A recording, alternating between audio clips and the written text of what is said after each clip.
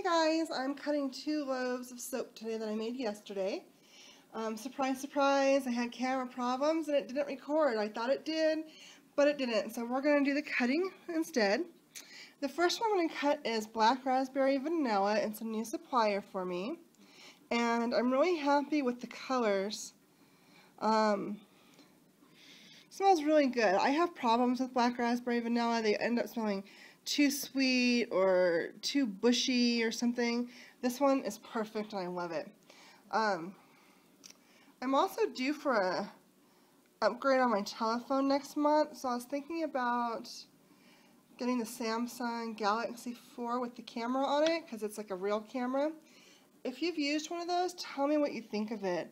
I'm a hardcore iPhone user and I love my iPhone, but I need a better camera and I can't afford like a $400 video camera right now. So, so here's this. These bars are smaller than usual.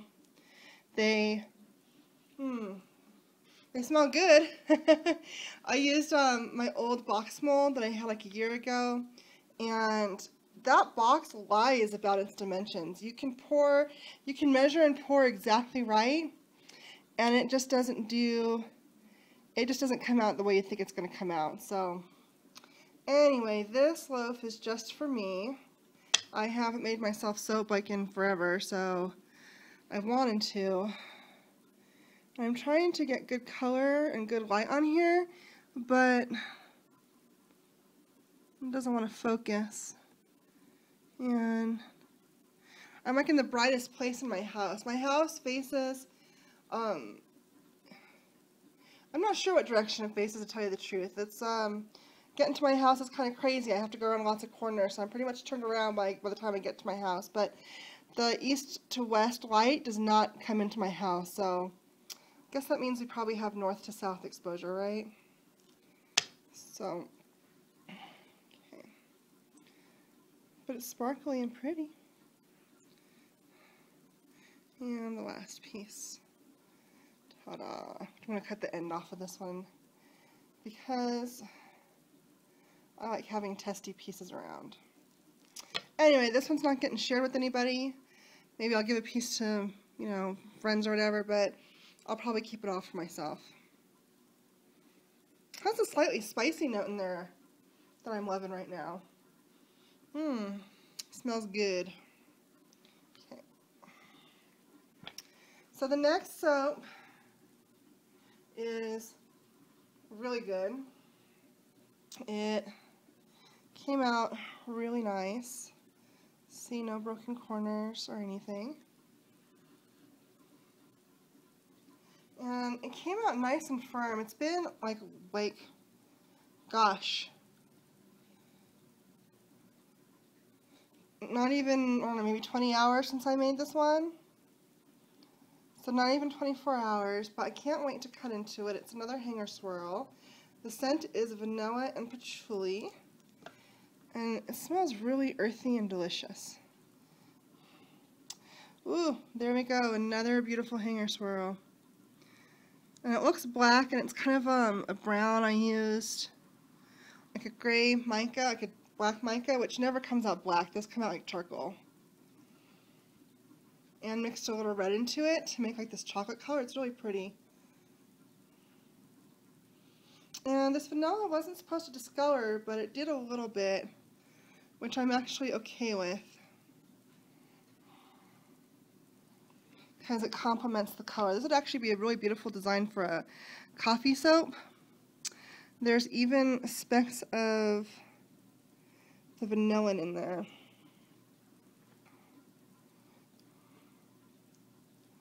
So, cut through this. Hmm. You can smell the patchouli, but it's not like overwhelming. Like the vanilla really mellows it out a lot. I am still working on my WordPress tutorials. It was taking longer to get those filmed and edited than I thought. And the episodes are really long, so I'm trying to cut them down into shorter pieces. So in the meantime, if you have any questions about WordPress or need to know how to use a specific function or need any recommendations for anything, just give me a, a shout on Facebook and I'll let you know what I think. Um, otherwise, those will be up in hopefully another week or two. I'm trying not to make them go too long. Super pretty. I am really happy with this one.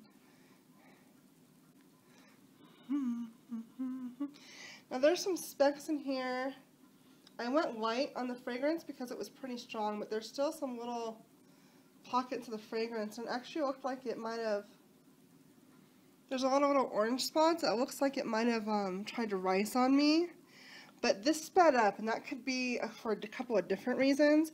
One is that I wanted to try um, a new formula. Actually, I might have to check my notes because one of these soaps that I'm doing, one of them was a new formula just to kind of play with for myself. And one of them was a variation on the one that I liked the best. I can't remember which I did now. I think that this one is the... I can't remember. I'll have to look. A little air pocket in there, not surprising, but... But I just think that that swirl is super dramatic. I'm totally into dramatic swirls lately.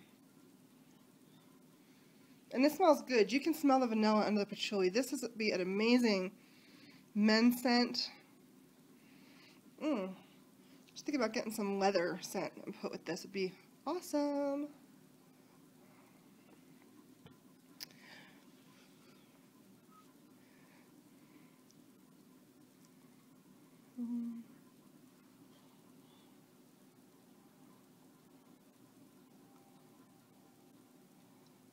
I'm trying to think what else is new. Not a whole lot. I need to order more supplies. And then I'm going to start getting ready, I think maybe to open in the summertime. That one's so pretty too.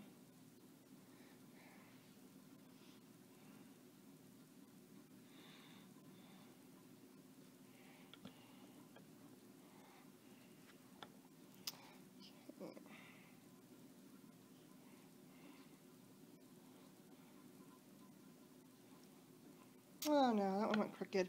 Oh well, I need a new cutter. The cheese board has been amazing as far as helping me have straight cuts, but I still get them not straight going side to side, so I need to work on that. And I'll post pictures, and I'll try and post a picture at the end of the video. That way you can see the more like true color of the of the soap.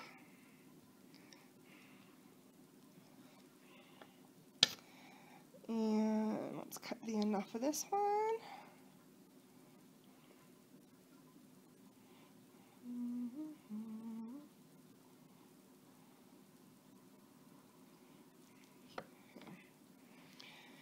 I've been thinking about getting a one arm cutter so I can adjust the sizes of my bars as I want.